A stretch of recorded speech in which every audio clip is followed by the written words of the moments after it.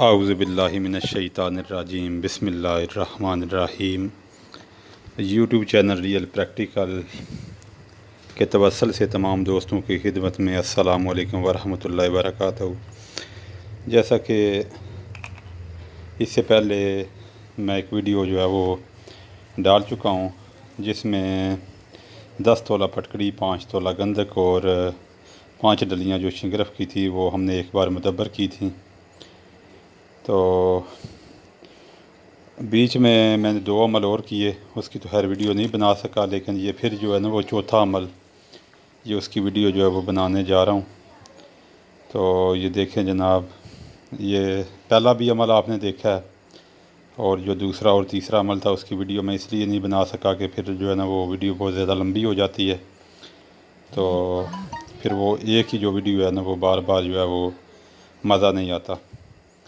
तो इसलिए जो है ना, ये मैं चौथे अमल की वीडियो जो है वो बनाने लगा हूँ। तो ये आप देख सकते हैं जी जी हमने ले लिया पचास ग्राम फटकड़ी। अगर इसमें एक आध ग्राम ऊपर नीचे हो जाए तो कोई हर्ज नहीं है इसमें।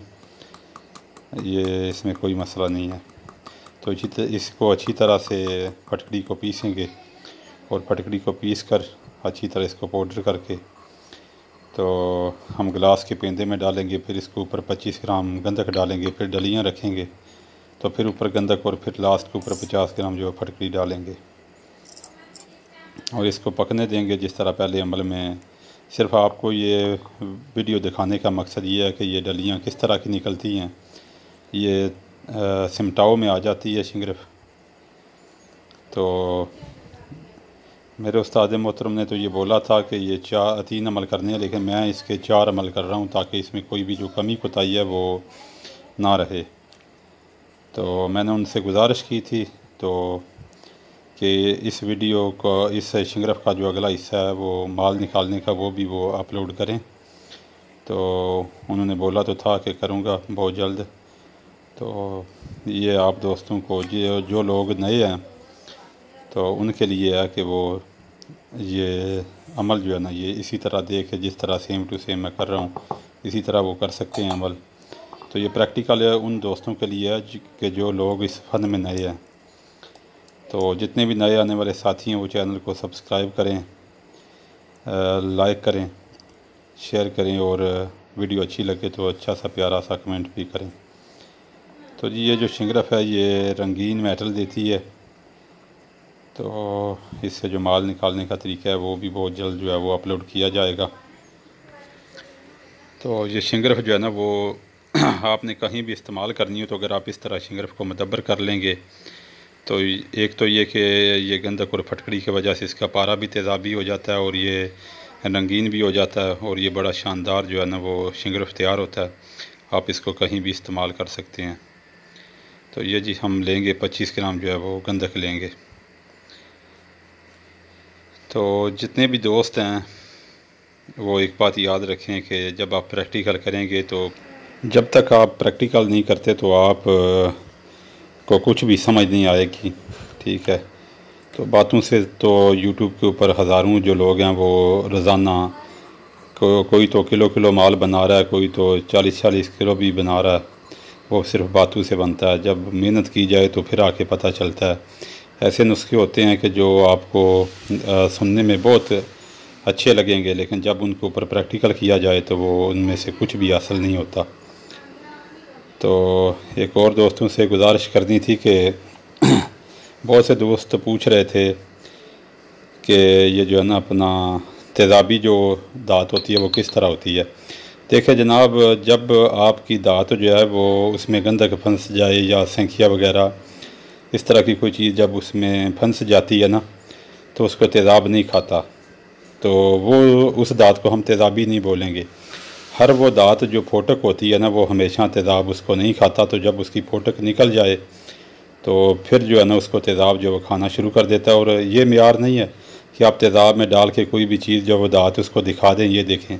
उसको आप उबालें अच्छी तरह से। पहली चीज़ तो ये कि दाँत नरम मुलायम हो और फिर आप उसको शरे बनाएँ, या किसी चीज़ के साथ आप डबल वज़न नुकराई दे लें, तांबा दे लें तो उसके साथ आप उसको चक्कर दे के फुले डाल के जब निहार करें तो वो तेज़ाब में बैठे। एक तो ये तेज़ाबी और दूसरी जो तेज़ाबी जो हमलान शमसी के लिए होती है, वो जब आप सोने के साथ उसका निहार करें तो उसको मुकम्मल उसके साथ जो वो बैठना चाहिए। अलग होके भी नहीं बैठना चाहिए। एक अलग होके बैठती है, वो भी तेज़ाबी होती है। लेकिन वो शमस के साथ जो है वो मुकम्मल तामल नहीं करती, वो मिलती नहीं है। और जो दूसरी है, वो शमस के साथ जो गिरती है, चाहे वो शमस को सफ़ेद करे या इसको मुकम्मल मुकम्मल जो है वो कलर दे तो वो जनाब जो है ना, तेज़ाबी होती है। इस तरह कोई भी मेटल तेज़ाबी नहीं है, जो मैं आपको इधर गंदक किसी भी चीज़ के ऊपर तरह करके तो आपको दिखा दूँ, जी, ये देखें, जी, ये तेज़ाबी हो गई। इस तरह मेटल तेज़ाबी नहीं होती कोई भी। ये आप याद रखें, ये सिर्फ़ आँखों का धोखा है। ये तब तक होता है जब तक आप, की गंदक जो है ना, वो उस दांत में फंसी हुई है।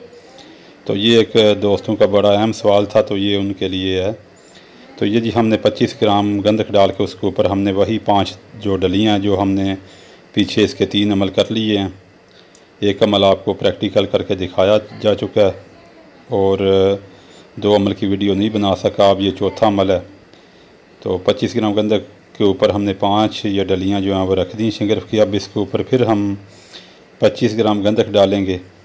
अच्छी तरह इसको पीस के ऊपर डालेंगे गंदक और इसके ऊपर जो है ना वो फिर जो है ना अपना डालेंगे फटकड़ी जो 50 ग्राम है वो। तो एक आध ग्राम का फ़र्क, कोई मसला नहीं है, ऊपर नीचे हो भी जाए तो कोई टेंशन नहीं है।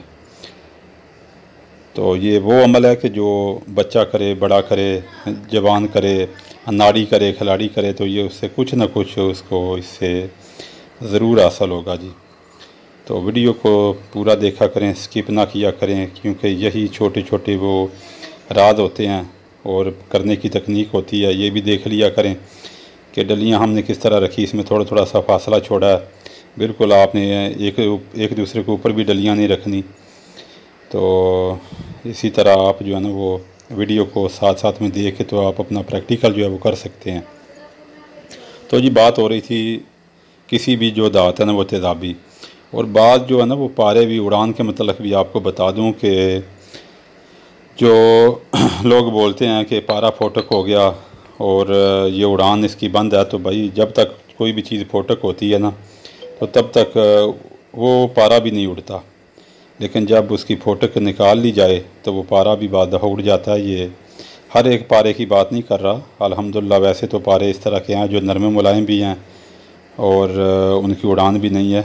लेकिन एक आपको अमूमन बात बता रहा हूँ, जो लोग टीन को पारा बनाते हैं, ख़ास तौर के ऊपर तो वो उस वक्त तक तेज़ाब में बैठता है जब तक वो फोटक होता है।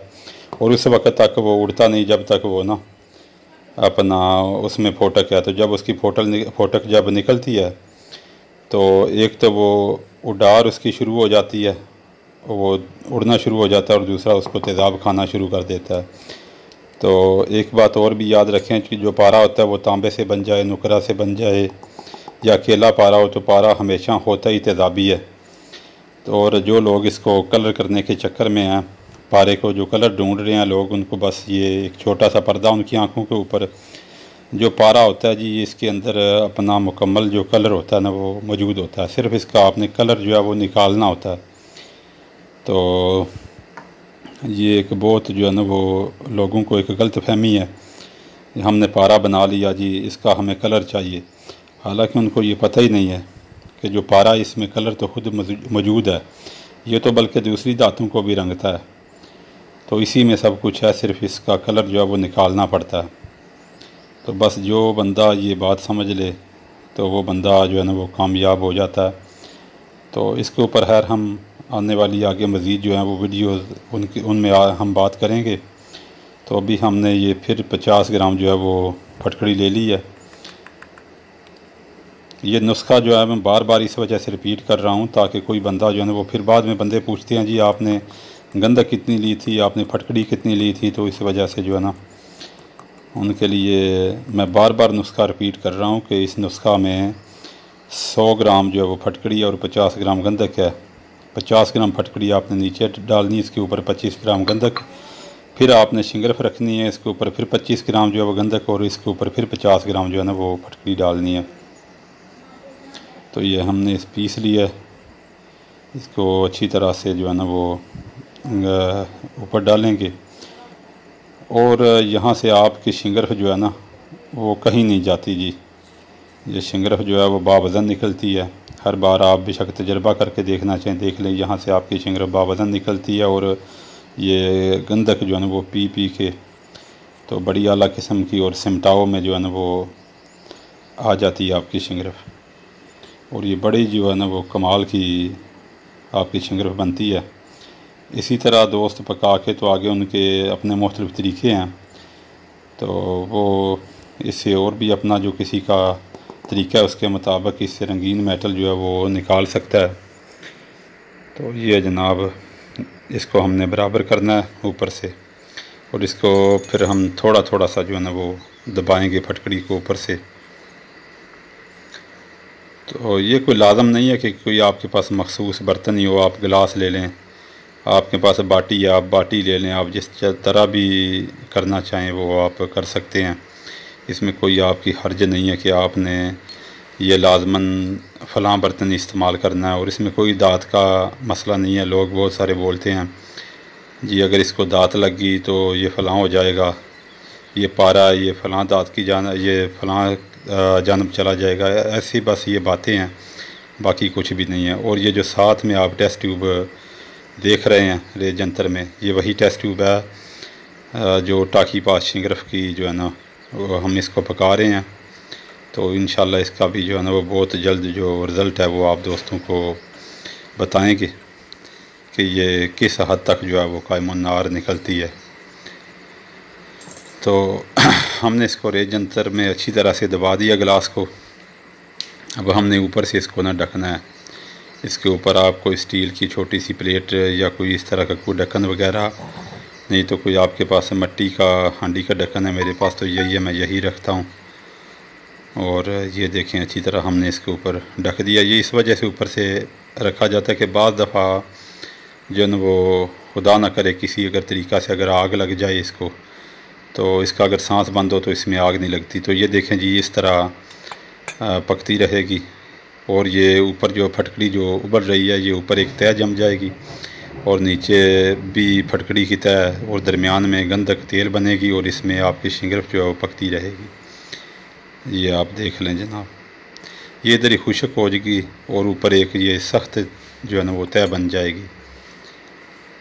तो ये जनाब हमारा जो है ना वो मकम्मल हुआ वक़्त जो है वो नौ दस घंटे के करीब हो चुके इसको पकते पकते तो ये याद रखें कि आपने इसको गर्म गर्म ही निकालना है। अगर आप कि ये जम गई हर चीज़ तो फिर आपका निकालना मुश्किल हो जाएगा। तो इसको गर्म गर्म ही आपने निकालना है। और ये देखें मैं किस तरह इसको पलट के आपको दिखाता हूँ। आप ऊपर से भी किसी अपना मदद से, चिमटे वगैरह की मदद से अपनी डलियाँ निकाल सकते हैं।